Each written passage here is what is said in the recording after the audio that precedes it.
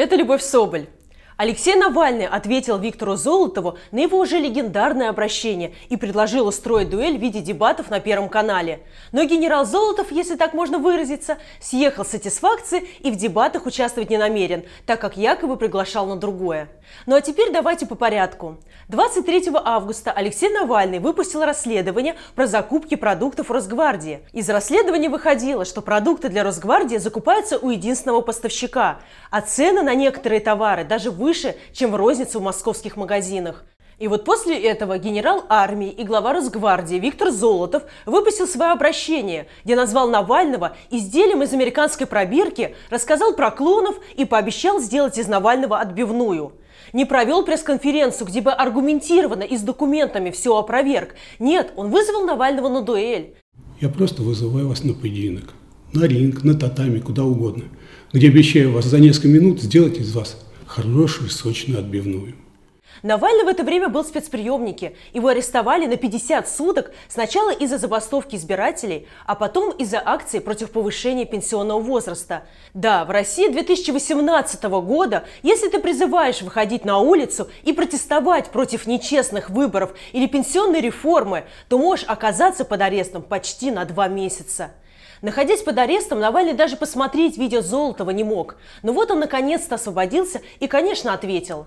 Сначала Навальный поблагодарил Золотова за это обращение, потому что оно наглядно демонстрирует, какие они руководители нашей страны. Люди, которые в ответ на обвинения в коррупции рассказывают про изделия из американской пробирки, угрожают и обещают сделать отбивную – и нет, это не сюжет из американской комедии про диктаторов. Это про самого настоящего российского генерала, руководителя целого силового ведомства и одного из ближайших соратников Владимира Путина. Потом Навальный ответил, откуда у него президентские амбиции. Да потому что сейчас Россией руководят такие, как Золотов. Я не хочу, чтобы такие, как вы, правили моей страной.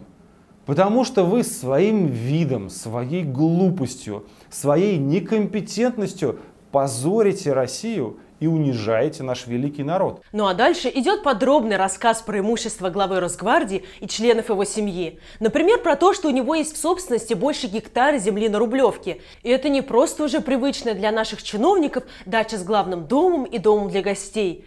Это территория бывшей советской госдачи Зубалова-2, где жили руководители СССР. Дольше всех там жил легендарный нарком Анастас Микоян. Но он просто жил там, сама дача оставалась в госсобственности. А великий государственный деятель и бывший охранник Путина Виктор Золотов стал ее собственником. Все имущество Золотова и членов его семьи, по нашим подсчетам, можно оценить в 3,5 миллиарда рублей. Три с половиной миллиарда. Это только то, что удалось найти с помощью общедоступных реестров. Представляете, сколько всего вы могли бы узнать, если бы против Золотова велось официальное расследование, но пока не узнали. В конце видео Навальный еще раз напомнил про расследование о закупках для Росгвардии. Потому что история с дуэлями и поединками – это, конечно, весело, но не надо думать, что про бюджетные миллиарды и цены, по которым закупались продукты для ведомства, все забыли. Ну и, конечно, Навальный ответил непосредственно на сам вызов на дуэль. По дуэльному кодексу оружия и место выбирает тот, кого вызвали. И Навальный выбрал дебаты на федеральном канале. Я ваш вызов принимаю и, как полагается, выбираю место и оружие – Наша с вами дуэль состоится в виде дебата в прямом эфире Первого канала или Второго канала, или любого другого федерального канала. А если они почему-то откажутся, ну то на этом YouTube-канале, где их все равно посмотрят миллионы людей. И что же Золотов? После такого пафосного обращения он же должен был хоть как-то отреагировать. И он отреагировал. Сегодня утром генерал Виктор Золотов заявил, что в дебатах участвовать не намерен, так как приглашал на другое. Потом он пообещал ответить на вопрос, ну а комментируя вызов на ринг, вообще сказал, что это было спортивное соревнование, не более того. Рассказы про американские пробирки и клонов, обещание сделать отбивную и устроить шоу для всего личного состава Росгвардии. Оказывается, это все просто предложение поучаствовать в спортивном соревновании было. А все мы, видимо, просто не так господина генерала поняли. Чиновники считают возможным не отвечать с документами и по существу на обвинения, рассказывая про компот и вызовы на дуэль. Иногда кажется, что они путают свою профессию с какой-то другой. Вы же чиновники, вы должны отчитываться перед людьми, а не угрожать авторам расследований. Я считаю, что наша страна заслуживает гораздо большего, чем нынешняя система. Прекрасной России будущего руководители страны будут думать, как сделать жизнь людей лучше, а не как построить себе дачу побольше, а потом в ответ на претензии обещать сделать отбивную. Владимир Путин заявил, что в случае ядерного удара мы как мученики попадем в рай, а те, кто на нас нападет, просто сдохнут. И это не шутка. Вот есть полная цитата. Там и про агрессора, и про мучеников, и про рай, в который мы все должны попасть. Рассказал все это Путин на заседании дискуссионного клуба «Валдай». Тема обсуждения в этом году звучала как «Мир, в котором мы будем жить. Стабильность и развитие в 21 веке». И вот в рамках дискуссии о мире, в котором мы будем жить, и развитии в 21 веке, Путин рассказал про ядерный удар и что мы все попадем в рай. Спасибо, конечно, но как-то хотелось больше про развитие послушать.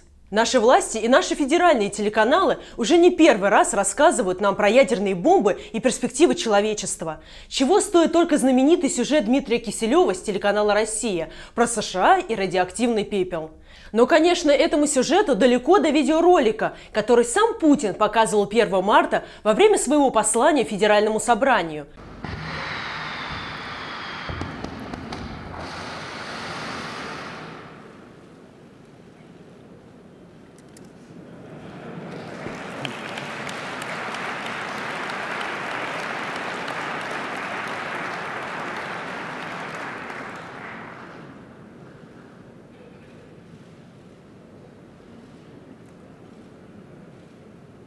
Как видно, в нем ракеты поражают территорию, поразительно похожую на Флориду. И это не осталось незамеченным. Во время интервью телеканалу Fox News американский журналист даже спросил Путина про этот ролик. И Путин сказал, что там не написано, что Флорида. Посмотрите еще раз повнимательнее.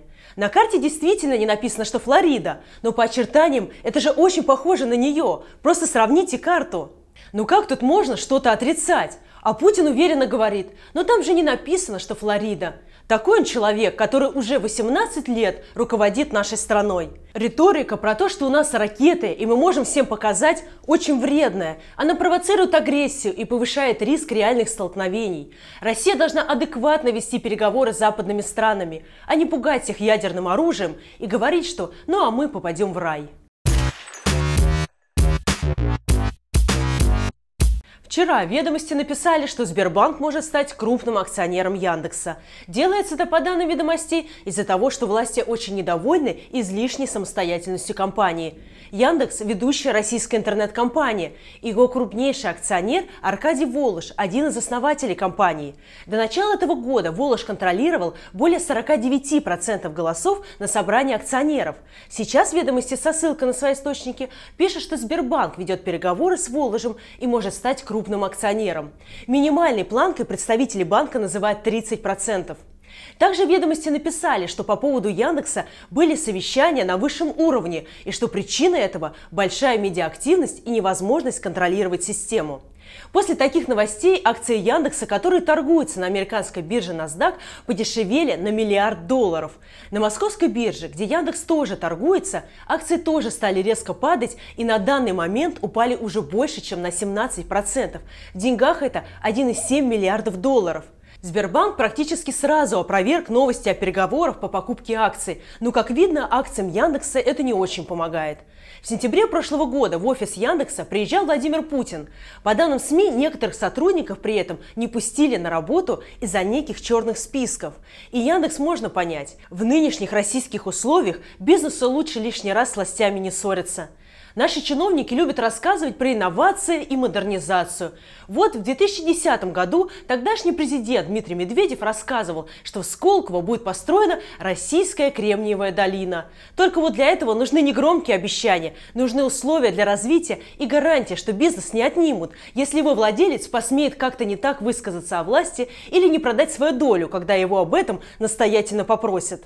А у нас даже глава госкомпании «Роснана» Анатолий Чубайс рассказывает, что частная собственность у нас не вполне частная и не вполне собственность. Говорит все это и продолжает работать в нынешней системе. И мог бы назвать фамилии тех, кто ответственен за то, что частная собственность у нас не вполне собственность, но уверена, что не назовет. Яндекс – национальное достояние в IT-сфере и гордость России. А сейчас над ним, как пишут журналисты, сгустились тучи, а власти недовольны излишней независимостью. Прекрасной России будущего так быть не должно. Государство должно гарантировать защиту частной собственности и не угрожать отъемом бизнеса, если владельцы не согласны с кем-то из высших чиновников. Это была Любовь Соболь. Ставьте лайки и подписывайтесь на наш канал.